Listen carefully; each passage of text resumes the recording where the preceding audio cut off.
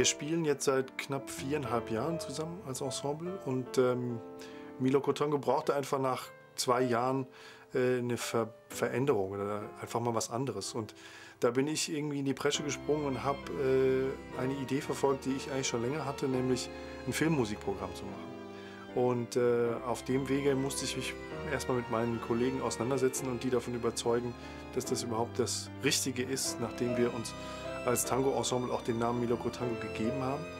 Aber das Endergebnis, was heute da ist, zeigt mir, dass wir äh, absolut richtig lagen, ein Filmmusikprogramm zu machen, das heute als rein italienisches Filmmusikprogramm entstanden ist.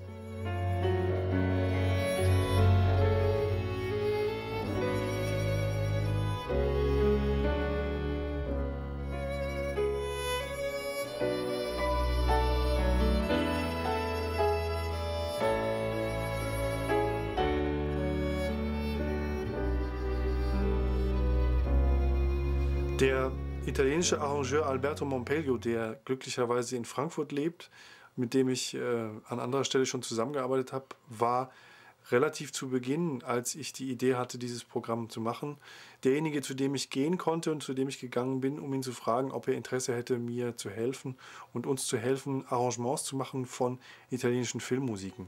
Und äh, er hat es irgendwie, und das weiß ich von ihm heute, als fast als Herzensprojekt empfunden, endlich mal die Chance zu haben, sich mit seinen großen Vorbildern, diesen großen italienischen Meistern auseinanderzusetzen und vor allen Dingen einmal den umgekehrten Weg zu gehen. Alberto Mompelio ist normalerweise Orchesterarrangeur, der für Hollywood-Filme beispielsweise große äh, Orchester arrangiert.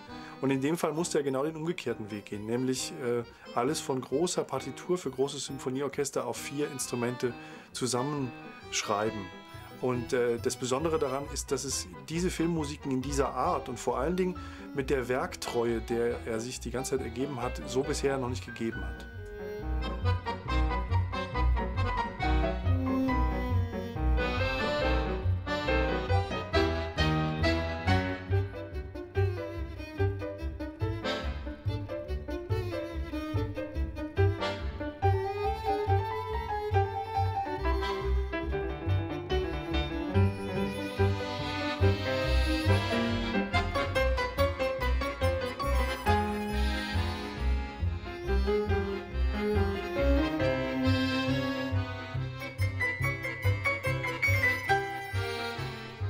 Point is to try to get the flavor of the original music. So I try as much as possible not to change anything of the original because I think that, uh, well, the job of the composer has to be respected.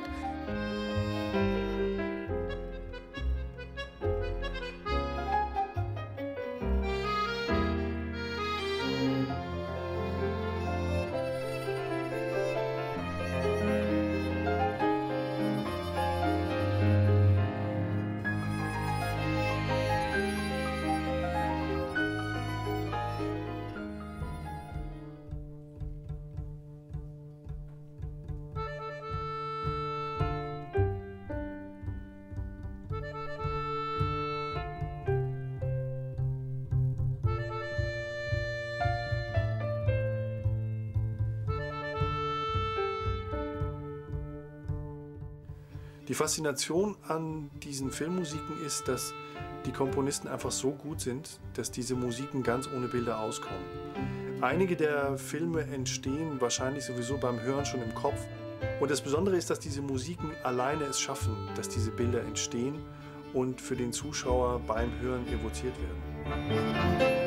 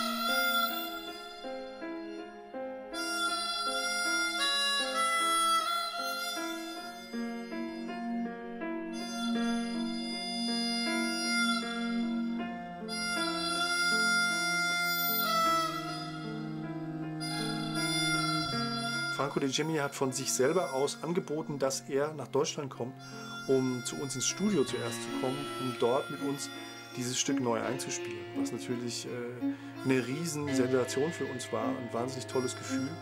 Und ich werde nicht vergessen, als er irgendwie durch den Fahrstuhl irgendwie den Weg, den Gang hier runterkam, um ins Studio zu kommen, dass diese sonore, tiefe Stimme, die dieser Mann irgendwie brachte, schon irgendwie das erste Erlebnis war.